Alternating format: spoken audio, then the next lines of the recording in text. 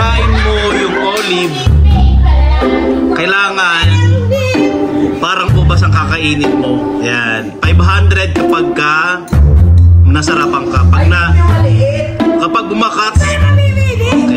Ako na mamimili. Oh. Kapag nahalata na hindi masarap, walang 500. Okay, 1,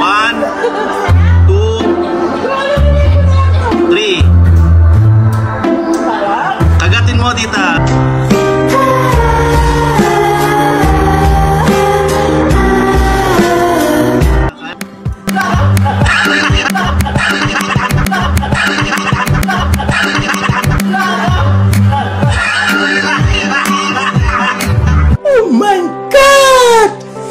Wow!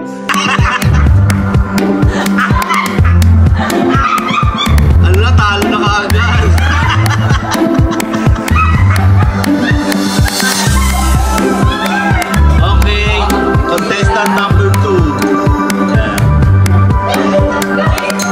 Kailangan mukhang bupas ang kakainin mo.